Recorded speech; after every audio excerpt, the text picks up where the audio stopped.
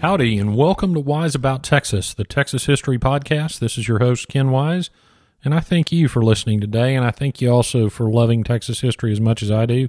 I hope everybody had a wonderful holiday time with family and friends. I'm recording this episode the first week of January 2017, so Happy New Year as well. We had a warm Christmas down here in Texas, as we often do, and a lot of Texans wish it would snow on Christmas Day. I hear it every year, but I'm sure those of you stuck in the snow up north might wish for a little relief. So I don't know where the sweet spot is, but uh, we had a great Christmas down here. And uh, as I sit in the world headquarters of Wise About Texas, we're in the middle of a clear but cold day. And uh, those are some of the best winter days down here in Texas. So I hope the weather's good where you are. I'm very excited for 2017 and some new things for this podcast. I'm still working on that website revamp that I talked about, and uh, I wish I had a web developer on staff, but I'm I do it all. It's a one man band here at Wise About Texas, so uh, you're going to have to be patient on that website. Hopefully, the website as it is now is working well for you, and uh, I can promise you it's going to look a lot better when I get done with it. And we're working on that. It's going to be a busy first quarter for Wise About Texas. We're going to the legislative session is starting. In my day job as a judge, I'm involved a lot in legislative issues, so we'll be spending a lot of time in Austin for the next few months, which is always a fun fun thing to do. We're coming into the 181st anniversary period of the Texas Revolution, so you can bet that some of the episodes in the next few weeks are going to be about the revolution. Uh, in fact, I'm going to be the keynote speaker at the Texas Independence Day celebration held annually at Washington on the Brazos, the birthplace of Texas. That's where the convention met to sign the Declaration of Independence and the first Constitution. So on March 5th, 2017. Come on out to Washington on the Brazos and maybe get inspired to continue your own studies of Texas history. That's going to be a great celebration. Uh, before we get into the revolution, though, I wanted to go a little bit further back in Texas history and tell you a story of a colony that probably I'd say most people haven't really heard of uh, it was a French colony, and it didn't even last a year, but it had a pretty profound effect on Texas. So we're going to go back today, all the way back to 1818, and maybe a little bit before, and get wise about Texas. Well, let me set the stage for you here. Uh, back in 1818, France had been at war for about 20 years. And these were the days of Napoleon. And of course, we know that Napoleon was finally defeated at Waterloo in 1815, he was exiled to an island called St. Helena, and the Bourbon monarchy was restored by uh, King Louis the 18th. So we were up to 18 back then. And a bunch of military officers in Napoleon's army decided that that would be a good time to leave France. And they came, a remarkable number of them came to Philadelphia. Napoleon had placed his brother Joseph on the throne in Spain. And Joseph Bonaparte, along with a lot of those officers, actually came to Philadelphia during that time. Now, the United States ended up granting some land to these French exiles, and they granted that land in Alabama. And the deal was that the French colonists would grow wine and grow wine grapes and grow olives. And the president of that society was a guy named Charles Lallemand. Now, I took French in high school, but my goal with this podcast is not to not to pronounce every French word perfectly. So bear with me. We're going to call him Charles Lallemand. Lallemand was born in 1774, and he was a cavalryman during the French Revolution. He rose to the rank of general, was later given the title of baron, and he and his brother Henry or Henri led an unsuccessful revolt against Louis XVIII. Well, they survived that, and uh, Napoleon arrived a little bit later and rewarded Lallemand and made him a general. And Lallemand was uh, extremely close to Napoleon throughout his reign and was even present when Napoleon surrendered. Now, Lallemand became famous because of that close association to Napoleon. Uh, in Europe, that was not such a good deal. So he took that opportunity to move to Philadelphia. And because of his rank, became the president, as I mentioned, of that French Immigrant Association. The association, by the way, was called the Society for the Cultivation of the Vine and Olive. Now, that does sound like something we'd all like to be a part of, but uh, that was the association to which the land was granted in Alabama. Um, now, despite being president of the association, uh, the Society for the Cultivation of the Vine and Olive, Lallemand was not interested in cultivating vines and olives. Restoring the Napoleonic Empire, however, that interested him very much. So, what they did, and when I say they, I'm talking about the the uh, recipients of the land grant, the members of this society, they sold those land grants before they even left to look at them. Before they even left Philadelphia, they sold those land grants, and they uh, now the rumors were uh, that Lallemand was interested in Texas. He was interested, perhaps, in putting Napoleon brother Napoleon's brother Joseph on a throne in Central or South America, uh, or he might have been interested in taking Florida from the Spanish, or what have you. His interest in Texas would have been to work with insurgent governments in Mexico to try to capture some territory. But the theme of all of those rumors related to the restoration of Napoleon to the throne. They even discussed going, uh, the rumors were around that uh, and others were trying to hatch a plot to rescue Napoleon from St. Helena. In any event, nobody thought that Charles Lallemand was going to go into agriculture.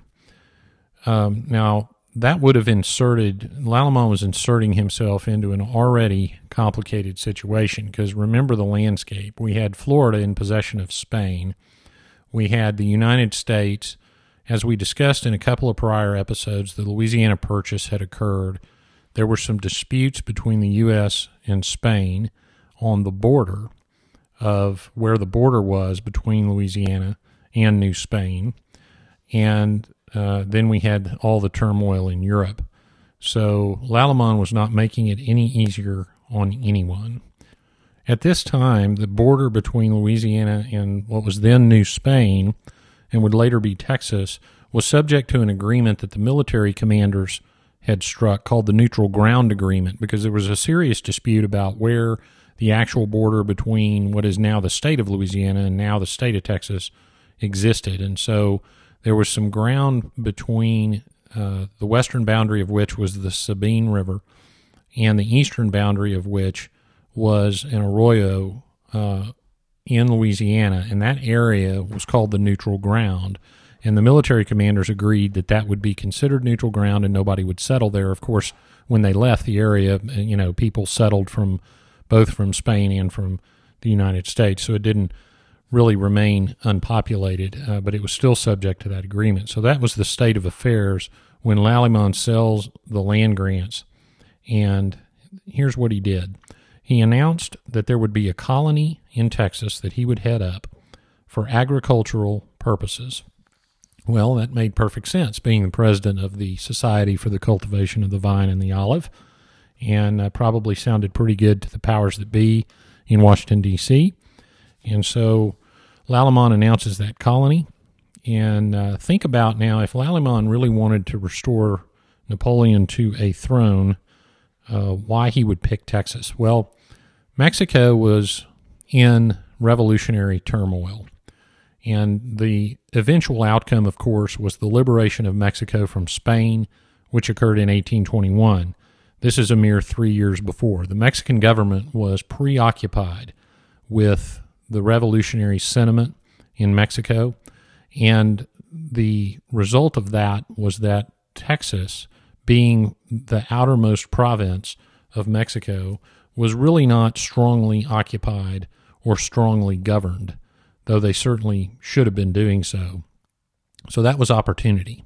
It was sparsely populated, and Lallemand could go there, and he felt, Lallemand felt that he would be unmolested and that the Spanish might even, in fact, not even care, care that he was there, but as we'll see, that's not the case. On December 17th, 1817, Lallemand and his expedition set sail aboard the American ship called the Huntress. Now, I just misspoke. I said Lallemand and his expedition. It was his expedition that set sail aboard the Huntress. Huntress. Lallemand was not on board. Uh, the commander of the group on board the Huntress was General Antoine Rigaud, and that's R I G A U D. Rigaud was also a general in Napoleon's army. He was also a baron. He had fought with Napoleon in the Germanies, he had fought in Spain, and after Napoleon's defeat, uh, Louis XVIII had sentenced Rigaud to death, and uh, Rigaud thought that might be a convenient time to come to the United States, so he came to Philadelphia in 1817. So Rigaud was given command of the group aboard the Huntress, and there were about 90 of them, and they set sail. Now, there were a couple of things about uh, the men and material aboard the Huntress that might have cast a little doubt on the agricultural nature of this colony. First, most of the men were former officers in Napoleon's Grand Army, not exactly a big group of farmers. Secondly, the, in the cargo hold of the Huntress were 600 muskets, 400 swords, and 12,000 pounds of gunpowder. There were even six field artillery pieces. So that was not exactly a load of farming supplies headed to Lallemand's new colony in Texas. Um, there was a man on board that ship who wrote a letter to a relative. This letter was published in Paris in 1822. And he wrote that he had actually, when he signed up for Lallemand's expedition, he had actually signed up for a military expedition against Florida, purportedly under a secret agreement that Lallemand had made with the U.S. So as Lallemand was recruiting these sailors, and there aren't a lot of other firsthand accounts, but at least this one sailor knew that it was a military expedition. He had no expectation of raising any crops, and he thought that, uh, or at least Lallemand must have told him, that the U.S. and Lallemand had a secret agreement to go liberate Florida from the Spanish. So at least those rumors, we know where they might have gotten started. But that got this sailor on board the ship, and who knows what he told the others. This sailor also said that he did not know that they were going to Texas. They didn't know the ultimate destination. Um, but once on board the ship, Rigaud organized the men into staff officers and staff. And uh, one of the funny tales was the the ship was so cramped that uh, the sailor wrote that he, they had to sleep four to a bed, so everybody had to turn over at one time. Uh, so I can't imagine what that must have been like. But they finally finally made it. As they made it past New Orleans, they were finally told that the destination was going to be Galveston. And Galveston at that time was described as a desert island. Uh, it was also described as uninhabited, but it was noted that it was the headquarters for the famous pirate Jean Lafitte or Jean Lafitte. And uh, the ship, as the Huntress came into what is now the ship channel, and of course then was there was no such thing, and the space between the Bolivar Peninsula and Galveston Island, uh, they were intercepted by a ship flying a Spanish flag, which would have been bad news. They were boarded, and upon revealing who they were, uh, the captain of the purportedly Spanish ship revealed himself as one of Lafitte's pirates, and he guided him over the bar and into Galveston Harbor. The sailor described Galveston Harbor as having only three cabins for all of Lafitte's pirates. Now, I suspect he didn't see the whole thing because we know that Lafitte built a house down there, and certainly there was more than just three cabins, but maybe not. That's all he saw. He described that there were no trees on the island anywhere, and the men disembarked and pitched their camp on Galveston to wait for Lallemand. There were multiple complaints in this letter about no drinking water, terrible morale under Rigaud. There were duels every day. And of course, the famous mosquitoes were mentioned. And uh, it was basically total chaos. The, the sailor who was a, a soldier in the army, or had been, described Lafitte's men as, quote, freebooters gathered from among all the nations of the earth, determined to put into practice the traditions of the buccaneers of old, close quote. Well, that wasn't much of a compliment, but at least we know that our local Texas pirates were real pirates. Lallemand had sailed from Philadelphia on a ship called the Actress with another group of men, and they made it to Galveston in February 1818. It was February 19th, 1818. And the sailor who wrote the letter described a big party as being thrown when Lallemand came and they left the island as soon as possible. Lallemand probably realized he needed to keep his troops busy and get them out of the way of the pirates. So they took off from Galveston on March 10th. Now, some accounts of this voyage talk about nine boats leaving. Some accounts, uh, one account in particular, said they had 24 boats. However many boats they had, they bought the boats and the provisions from the pirate Jean Lafitte. So they get into Galveston Bay, and almost immediately a storm comes up. Now, I'm guessing this time period might have been a very windy cold front, but whatever it was, started swamping their boats. One boat sank with only one survivor.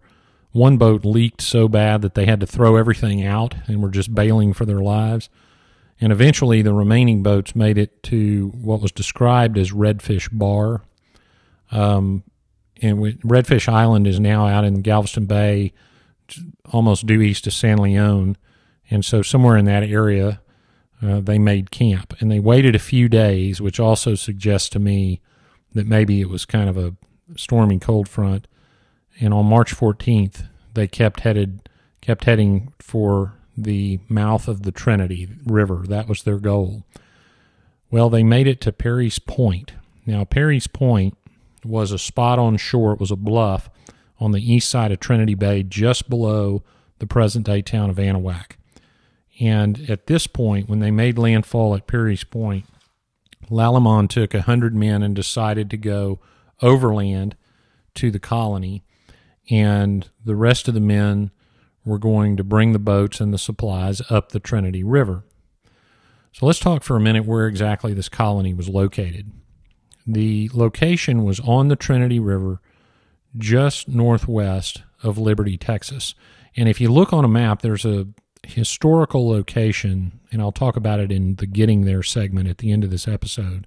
There's some information about the historical location, but honestly, we don't exactly know where this colony was. There are some Texas archaeologists who have conducted some searches uh, for the colony, I'll try to update that information and put it on the website. But if you look at the only pair of coordinates that I could find, you find the location on the river just northwest, almost the outskirts of Liberty, Texas. And that would have been about a 35 mile walk from Anahuac, from present day Anahuac, and where they were. So off Lallemand goes. Here's the problem he only took two days of provisions because I suppose they assumed that the boats would be right there with them, and they were not. So they had a little problem. They did arrive at the location, but they didn't have enough to eat. But it turns out that many of the men saw a plant growing on the ground that looked a lot like lettuce. So most of them thought that was a great deal and ate it. Big mistake. Uh, everyone who ate it fell deathly ill. Uh, the reports, the first-hand accounts, talk about the men going into convulsions, cramps, hallucinations. They were basically totally incapacitated. One of the accounts of that time describes it as epilepsy. So a few men had not eaten the plant, and they turned out to be okay. Well, lucky for everybody who had, a Coushatta Indian wandered by. And who knows what he must have seen with a hundred men, most of whom were on the ground thrashing around and looked like they were about to die.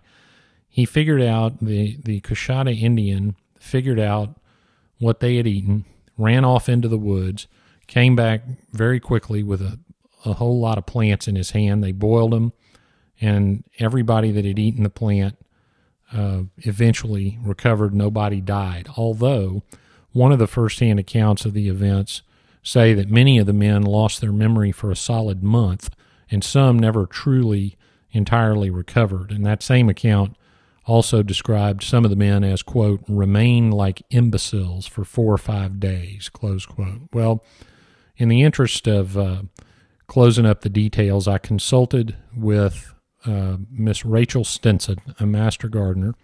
And Rachel Stinson's roots go back to the 1820s in Liberty County, which is where this colony would have been located.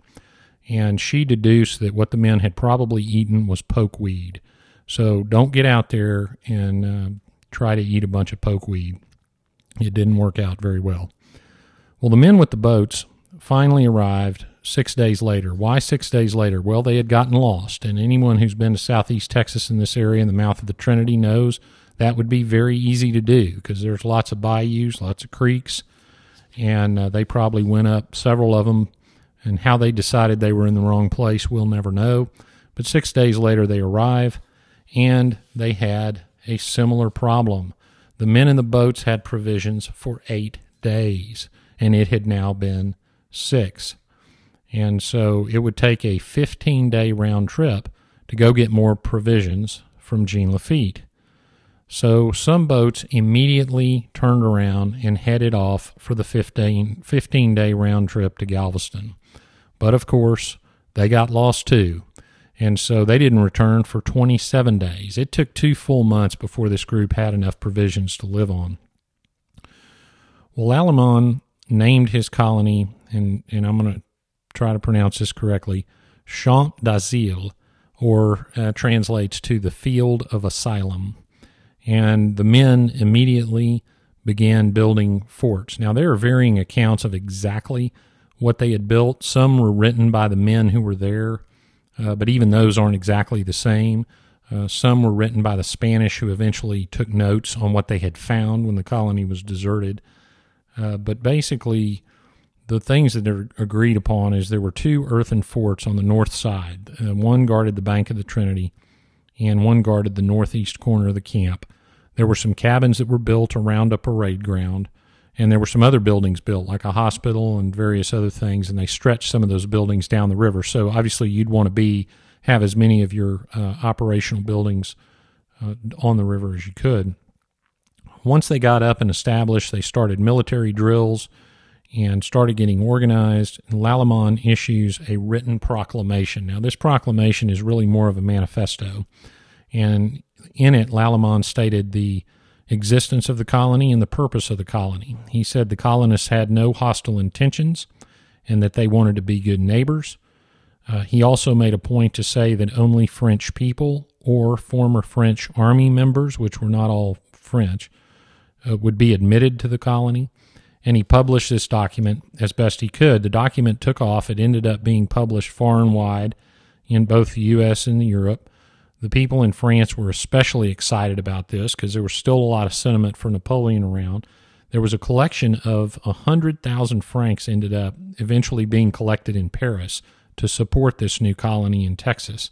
Uh, now, it took about a year to get those 100,000 francs, and the colony was long gone, as we'll learn in a minute. But they uh, there was a lot of excitement, and this colony was written about all over France as this sanctuary for um, Bonapartist refugees. And one of the members uh, of the colony, in an attempt to sort of sell it, uh, said that everything was peaceful and everything was great.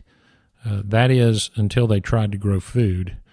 Now, remember, the agricultural purpose for which this colony was purportedly founded. Well, they weren't very good at agriculture at all, and their first attempts to raise any kind of crops were not successful. They did do some fishing in the Trinity. There was some writing by some of the men about the alligators in the Trinity River, and they also wrote specifically about 15 or 16 foot gars. Um, and how big they were. They were two or three feet across, and you can imagine uh, they also mentioned that it was not safe to go swimming in the Trinity, so they didn't do a lot of that. Uh, but they were fairly successful hunters. Um, not all the colonists were men, by the way. Uh, Rigaud's daughter was part of it. General Rigaud's daughter was there in the colony. There were several women and children that had joined Lallemand's expedition. There was a couple, uh, Mr. and Mrs. Viole. Uh, they had gotten married in Alabama. Some of the colonists from Philadelphia had made it to Alabama. Uh, they had gotten married and they set out for Champ d'Asile immediately after getting married. So they were basically spending their honeymoon exploring the wilderness of Texas.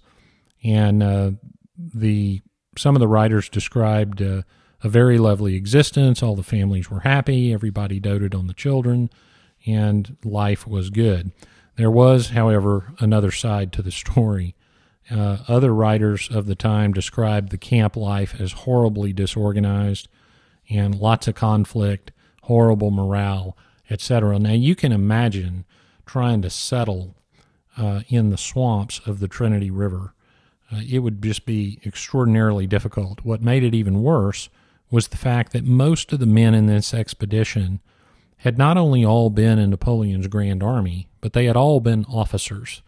So I can only imagine uh, getting a group of guys who are used to being supervisors together and telling some of them that they're no longer going to be supervisors. That is a very difficult job. Well, about a month after they arrived, uh, four of the men found it too difficult. They got an Indian guide and they deserted the colony. They made it to Louisiana. Now, Lallemand was chasing them. He sent some men after them. So that tells you a little bit about where Lallemand's head was. Uh, but they did end up making it to Louisiana. They were uh, actually not French. They had been French army officers, but they were not French. Uh, they were Spaniards. And when they got to Louisiana, had claimed that Lallemand tricked them into going to this colony. So I suppose they thought they were retiring to become farmers. I don't know. I doubt it, but that's what they said. Well, after a few months, the colony, three or four months, the colony got word that the Spanish were not entirely pleased with their presence in New Spain, as you might imagine. And the Spanish sent a force from Béxar, and probably my guess is from some troops from La Bahia, to march on Champ d'Asile. The Spanish commander, though, stopped that little Spanish force at the San Marcos River. Now, in those days, the San Marcos River would have been close enough to have made the colony feel threatened but it was far enough that the French were not going to be able to figure out exactly how large this force was. Nevertheless, uh, thought discretion the better part of valor and ordered Champ d'Asile abandoned after only five months. The colonists packed up and retreated to Galveston. By late July, uh, they were on their way back to Galveston. So they had arrived in March. It was now July and they arrive in Galveston. In Galveston was an agent of the United States, a man named George Graham. He had traveled to Galveston to see if this French colony of Champ d'Asile would accept American jurisdiction, which is an interesting thought. Remember that neutral ground agreement we were talking about. Unfortunately, Graham fell ill. He had to return to New Orleans almost immediately. Uh, the colonists were starving to death. I mean, they had you know, not raised any meaningful food. Uh, they they were dependent on Lafitte for their provisions, and they were getting restless. I would imagine. Lallemand went with Graham to New Orleans and told his people that he would come back with provisions and some plans. He never did return to Texas. Uh, one of the uh, one of the colonists, the suffering was so bad in Galveston. One of the colonists just signed up with Lafitte to become a pirate, and uh, actually several colonists ended up signing up with Lafitte. That was better than sitting around waiting on Lallemand. Uh, to make matters worse, there was a hurricane. In the middle of September uh, 1818, there was a, a, hurricane that hit Galveston. It totally flooded the island. Recall from earlier episodes of Wise About Texas that the island before the seawall at its highest point was only eight feet above sea level. The island was flooded. Lots of Lafitte's infrastructure was destroyed in that storm, and that certainly didn't help the morale of the colonists. About a month later, here comes someone, another agent, this time an agent of Spain, and he told those French colonists in no uncertain terms to get the heck out of Spain. Now, he must have said it pretty strongly because it's reported in one first-hand account that six men deserted right then and there and actually left with the Spanish troops. So everybody was ready to get out of there. Eventually, uh, the colonists made it to New Orleans. By the end of 1818, uh, the new Napoleonic Republic in Texas was no more and was, in fact, a total failure. Well, one loose end remained from all this. What about that money that was raised in Paris? Well, that money actually made it to Louisiana a committee in Louisiana, a committee was formed to distribute those funds among the colonists. And this was a little painful because Lallemand really was not in a hurry to cooperate. He had decided to become an American citizen. Um, and as an American citizen, he earned a living basically by defrauding his friends. He would get his friends to guarantee notes. Uh, he'd borrow the money and just never pay the notes. Lallemand had uh, bought a farm in New Orleans. He bought another farm in Metairie, Louisiana, mortgaged it all, and uh, just wasn't borrowed other money and wasn't going to pay it back. Um, eventually, he returned to Europe. Uh, now, remember, Lallemand was so close to Napoleon. When Napoleon died, he left Lallemand 100,000 francs in his will. So Lallemand had a new start. And he ended up serving on the French Council of Peers and also eventually became the military commander of Corsica, uh, ironically enough, where Napoleon was born. So he sort of restarted his life in France. He died in Paris in 1839. Uh, General Rigaud was a little more industrious. He ended up moving with his son and his son's family to St. Martinsville, Louisiana. Unfortunately, as did so many during this time in the South, he caught yellow fever and died in New Orleans in 1820. Oh, those honeymooners I mentioned, let me tell you what happened to them. The honeymooners for, from uh, Champ d'Asile uh, settled in St. Martinsville also, and uh, Dr. Voile practiced medicine successfully until his death in 1845. So the grand plans of Napoleon's general lasted a mere five months. There's no doubt that he wanted to at least establish a launch point uh, for further Napoleonic military efforts somewhere, uh, but maybe he really wanted to just start building an empire. Um, I suspect there was some thinking about Mexico. Um, but nevertheless, it was fairly poorly thought out and definitely poorly executed. It was, however, probably the last armed ex- incursion into Texas and the end of the filibustering era until the Texas Revolution. Uh, the other thing that's always intrigued me about this is Jean Lafitte's role. What was his interest in all this? Remember, he went back and forth as an agent for Spain and an agent for the United States and uh, he had helped the United States in the War of 1812. Uh, but he had also helped the Spanish and had reported on United States activities, and he was eager to help these French colonists. So give some thought to that and give me a little feedback on what you think the pirate Jean Lafitte had to gain from this little colony. I will tell you that Champ d'Asile uh, had an interesting effect on international affairs. I think, because the very next year was the Adams-Onís Treaty that I talked about in the Greer County episode, episode 29 of Wise About Texas. We talked about the Adams-Onís Treaty, which set the borders between uh, Louisiana and New Spain. And so there's no question that that treaty was hastened by this little excursion or incursion, as the case may be, and also interesting is the U.S. agent talking about U.S. jurisdiction over Champ d'Asile because uh, remember that Lallemand told at least some of his recruits that he had a secret deal with the U.S. government. And so, why would the U.S. government be interested in jurisdiction over Champ d'Asile? Well, that would sort of uh, invalidate the neutral ground agreement and more aggressively establish an American presence in a portion of New Spain uh, that was, at the very least, disputed, but also very hard for the Spanish to reach. Uh, so that's an interesting little tidbit related to this story. Well, nothing remains of Champ d'Asile. Uh, the Spanish, who had been on the San Marcos River uh, went ahead and came into Champ d'Asile, found it abandoned. They did do a drawing, which I will put on the website, and then they burned it to the ground. And uh, after they burned it, that was the end of Napoleon's new empire in Texas. Well, now we come to the part of the show I call Getting There. This is where I tell you how to find a couple of the places we talked about in the episode. I just got through telling you we don't know exactly where Champ d'Asile is, but the Spanish had burned it anyway. I'm going to give you the coordinates that I found that were listed as the historical location. And this is basically, when I say listed as historical location, this is where somebody sometime thought it was. So I'm going to give you these coordinates. It's uh, 30.07 degrees latitude and 94.81 degrees longitude.